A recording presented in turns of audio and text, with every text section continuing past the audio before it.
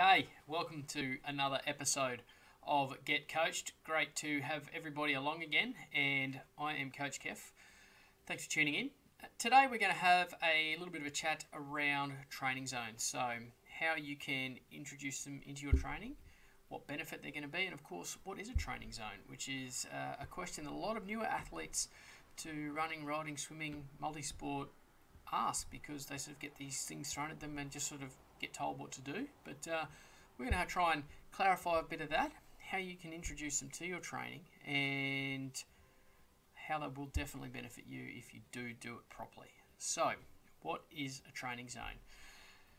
There's the very, very technical version, which is uh, a rate of effort, a percentage of effort against a threshold. So, depending on what you're doing, whether it's swim, riding, or running, your threshold is your generally based on your lactate threshold, so what your maximum rate of work is and your ability to remove lactate, and or aerobic, so your ability to maintain oxygenated uh, work for a set period of time uh, is probably the the most non-technical technical descriptions I can come up with.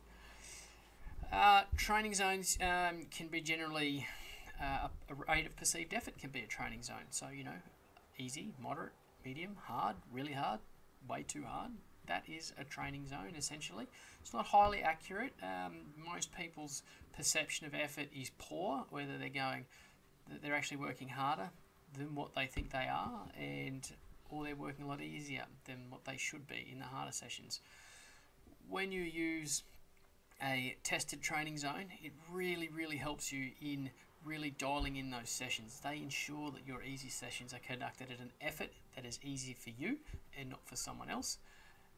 And also making sure that you hit those really hard sessions. So, you know, if you've got a hard run to do and you need to hit that, hit a certain number, sometimes our RPE, depending on conditions, uh, how we're feeling, we'll have a feeling we're working harder than what we what we actually are, and that's a whole nother whole nother episode talking about that. But um, essentially, training zone designed to help you nail your training, train at the right effort at the right time so that when you're easy is meant to be easy. So recovering or endurance work, that's what you're doing. And when you're hard is hard, you're working at that hard, hard effort. So how do you calculate a training zone? Look, there's a few different ways. There's threshold tests, there's step tests, um, and a few different ways. The simplest ways of, of calculating uh, most of your training zones is work on a on around about a 20 to 30 minute hard effort, whether it's um, a functional threshold power or th- functional threshold heart rate test in riding, or a functional heart rate test in running, or a pace based test. There is now power with running as well, so similar kind of thing.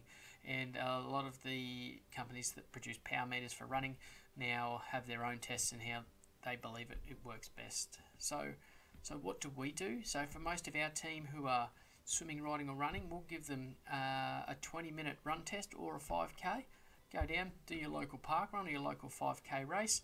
We take your average heart rate from that to give you your threshold heart rate, and then we also take your average pace to give you your threshold pace. Now, I'll move on to this a little bit later, but there are different ways of calculating your zones from that. With riding, same thing. We do a functional threshold power test. It's a 20 minute all out effort. Same with um, with the heart rate, we take that average. But with, with power for a bike, most calculations are based on an hour. So we'll multiply, well, sorry, we'll take 90 to 95% of your power from a power test as your average, and then we'll use that as your as your threshold. Now, the more experienced the rider, for a FTP test, the closer you can get to 95, the less experienced the rider, the closer you'll go to 90%. And as a coach, we can sort of work that out from how they hit certain numbers at certain times. Calculating. Now, this is the fun bit. So, there's a range of different zones, and there's a few different versions of calculating a training zone, with two of the most common in endurance sports being the Dr. Andy Coggan method or Joe Friel's method. Both are fairly similar but slightly different, but as a general rule, you know, your endurance work is at 65 to 75% of that threshold pace, power, heart rate effort. Uh, in recovery is lower than that and easier than that, and then we go sort of depending on the method again, you go to tempo, lactate threshold or threshold, VO2 max, uh, neuromuscular power, and so on and so forth. Yep, lots of big words, lots of stuff that your probably brain's exploding, and I can understand that. That's for sure. But calculating your calculating your um, your training zones using one of these methods is a great place to start. There's a few different ones. We use a slightly different method uh, to those two, but these are the two most common, easily found, and there's lots of calculators out there on the net that you can just punch your your numbers into, and they will actually calculate your training zones for you. So, what are the benefits once you've uh, gone out, you've done your test? You've got your um, you've got all your training zones set, whether you're using uh, Coggan or Friel or whatever the, the preferred method of yours is. What are the benefits? Why are we doing it? As I, as I touched on earlier, most people when they're training are generally training too hard when they should be training easy and not hard enough when they're training hard. So this is a great way to physiologically regulate or have a really accurate understanding of your effort at that time you know, there are times and places where using rate of perceived effort is great. Going for a coffee ride, you don't need to make sure that you're riding your coffee ride at 120 watts and a heart rate of uh, 112 or whatever. It doesn't matter. Go out, ride, and enjoy yourself.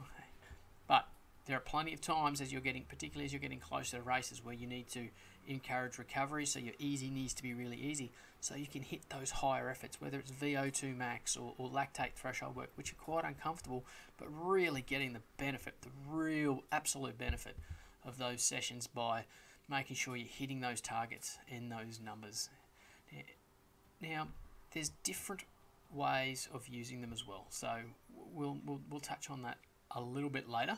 Another really, really important piece of this puzzle with using training zones and, and race is racing. So, understanding what effort you can maintain for how long is a great way to have a successful race. Triathletes, in particular, a lot and to a lesser extent, runners generally go too hard on the bike and then they suffer on the run. Runners generally go out too fast, they don't have the confidence to back themselves, and they go out too hard because everyone takes off and they find the back end of their racing is struggling. So if you know what you can maintain, happily maintain over 10Ks, you're more comfortable in going out, letting those people go, and as they do what you might have used to have done, they come back to you. With that comes confidence, big, strong finishes, really, really, really important. As I was just about to uh, touch on earlier, there's a few different things that we use, and we use them at different times, and sometimes we use them in, in combination. So, probably the most common way of, of using heart of training zones is used is probably heart rate or pace. Both have benefits in certain situations over others. We like to do a really easy endurance route, particularly running and particularly for new athletes or people early in a training block with heart rate. It's a physiological response to the effort that you're putting in. So it's what we would call an output metric. You put an effort in, out, output is speed, so how fast you're running, and what your heart rate does. So it's reacting. When you're running using it, you know, if you've got you want to do some nice long endurance runs, what you'll you'll find is you you set your heart rate and, and off you go. You'll find they should be should be pretty easy. You should probably if your if your aerobic fitness is, is about right, you're doing an effort that's or a length of time that's commensurate to your current fitness, they should feel pretty easy. And using that is a fantastic way of controlling it. it does get affected heart rate, things such as dehydration, temperature, caffeine, etc. So if you go out and do a run on a really hot day at say 140 beats per minute, you'll find it should be slower on the, than the same run on a, on a nice, cool, fresh day. Perfectly normal physiological response to the heat. Your body's trying to remove heat from the body to keep its body temperature in check. Your heart rate's going to elevate. If you, same as if you get dehydrated, your heart rate is going to get elevated because once again it's trying to cool, trying to hydrate yourself. So just keep that in mind. Other sessions when we get closer to racing, we're looking at working more on input metrics, so effort such as power and, pace is, our is our main target. Um, things such as you know doing a tempo run, we like we prefer to do most of those with um, with a pace setting. You know we know pretty much what someone's going to run for their 10k for their half marathon their, their marathon, whatever. So we like to use pace as a really good marker, and um, so it helps them dial in that pace over time as well. power, same deal. We find just making sure you're hitting that number nice and high. So, you know, you, you might say normally with an F, uh, an RPE, sorry, rate of perceived effort um, session, you might be just not getting there that day, but you don't know. You, you just think you're doing it, and there's a million reasons why you may or may not be hitting that number. So make sure, like when you're using power, it really gets you dialed in uh, for those on the bike. Swimming's a little bit different because obviously uh, most of us can't see a clock, we can't test our heart rate, so most of that is RPE. Um, but but understanding what your threshold is, so your ability to um, swim, essentially what a kilometre would take you, um, is a great way of understanding your effort uh, against certain distances. You know, endurance work versus tempo work, etc., etc. Same deal. But um, it is swimming really does come down to RPE and understanding your effort internally. So that's a, a where we would use a lot of um, RPE, or we'd set someone a, a, a pace to try and hit, and then through them learning their their RPE or understanding their RPE, they'll generally get closer and closer and closer to, to that mark. So essentially, they're, they're, the, they're the benefits. Why why do we use why do we use training uh, training zones? Control, limit, and target your physiological effort and load. So it allows us to make sure that your load is correct for you at that time, and making sure that your total load across the block we don't exceed anything that's too extreme and um, causing burnout, fatigue, injury, sickness, etc., etc., etc. So there you have it, team. A real quick guide at uh, using training zones. So what are the important parts? One, test it. Go out there, do your park run, do your 20-minute functional threshold, all-out power test. You know, it is better to do those on a trainer, but you can do them on a road or uh, like an enclosed crit track or something like that. Something where you can be consistently working hard and you don't have to worry about stopping and starting. So that's tip number one or step number one. Step number two, use use a protocol, whether it's Dr. Andy Coggan's, Joe Friel, etc. Find one that works for you. Look, if you if you want my preference, I'd probably lean towards uh, Dr. Andy Coggan. I find that this is just personal experience. The endurance side of it is probably a bit more accurate uh, or a bit closer to the mark than Joe Friel. So that's why we just lean towards that a little bit. But you know, uh, any of those is going to be a hell of a lot better than than not using any of them at all. Once you've once you've done that, use it. Make sure your sessions are targeted and trust them. Trust yourself to to nail those efforts. You'll know when you'll need to retest. All of a sudden, those efforts at threshold, lactate threshold, which were hard and um, you know, even for short efforts become easier and easier and easier, and you see, say, your heart rate dropping for the same pace, you might be ready to go do another test. Go and do another one, see where you're at. What you'll generally find is if your training is correct, your heart rate will stay the same. It won't change generally too much. Um, well, in new newer athletes, but most of the time your heart rate will, will stay pretty similar with your training zones, but your pace and or your power will improve. So that means you're definitely definitely on track with your training. So you keep keep that up. Um, yeah, don't forget to retest. It's it's really really important, and uh, adding that into your training. What we'll do is we'll put up on the website www.getkoachd.com later today. We'll put in uh, a couple of couple of charts there that so you can see the different training zones that uh, Coggan and Joe Friel use, just so you can have a look at them. Plenty of calculators out, or you can take a uh, take a calculator out there and, and, and do it yourself.